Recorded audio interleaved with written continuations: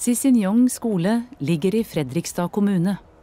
Den er en kombinert barne- og ungdomsskole som er bygget for 550 elever. I begynnelsen av 2000-tallet så kom det opp at vi skulle rehabilitere denne skolen. Eh, I planleggingsprosessen der så eh, kom det frem at eh, kanskje vi skal lage også et storkjøkken. Så, så så vi på et tidlig tidspunkt at sannsynligvis så går ikke dette rundt rent i kroner og ører.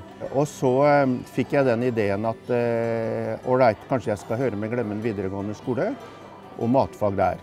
Her er vi bare nødt til å inngå et samarbeid. Det vi har gjort, det er at vi eh, hver morgen så serverer vi eh, havregrøt. Eh, som hvem som helst kan komme inn og få uten betaling. I tillegg så serverer vi frokost for en tier.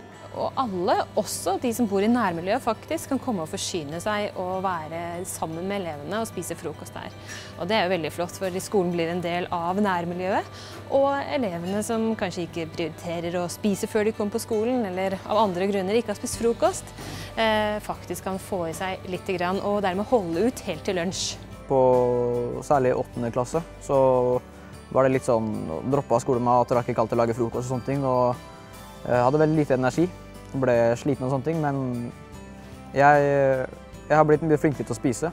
Ja, rett og slett lettere tilgang, og da blir man flinkere til å spise og få i seg det man trenger. Så. Tilbakemeldinger fra lærere at jeg ser mye mer våken ut og sånne ting i timene. Eh, og det føler jeg selv også. Sissenjong skole ligger jo midt i sentrum. Det er massevis av, av kiosker og, og, tilbud rundt oss. Vi har mulighet til å gå ut, men det er sånn Jeg har mye heller lyst til å sitte her med alle vennene mine og, og spise og tulle litt og sånne ting.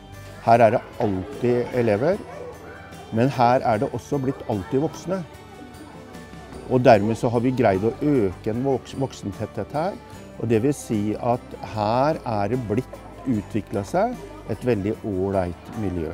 Vi har eh, abonnementsordninger med klippekort.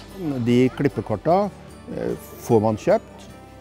Men det betyr også at helsesøster, sosiallærer og sånt har noen kort som de kan eh, dele ut til elever som vi ser trenger det.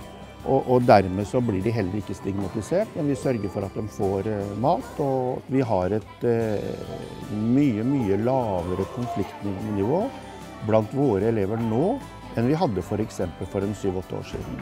Man kommer rett i snakk med andre og blir kjent og får venner og sånne ting. Og jeg synes at det eh, å ha en kantineordning som vi har, eh, øker på en måte fellesskapet.